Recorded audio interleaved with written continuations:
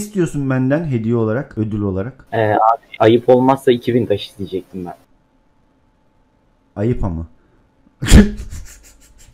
Bence ayıp yani. Ciddi ciddi 2 2000 taş mı? Abi hiç para yatırmadım oyuna. Ne yapayım?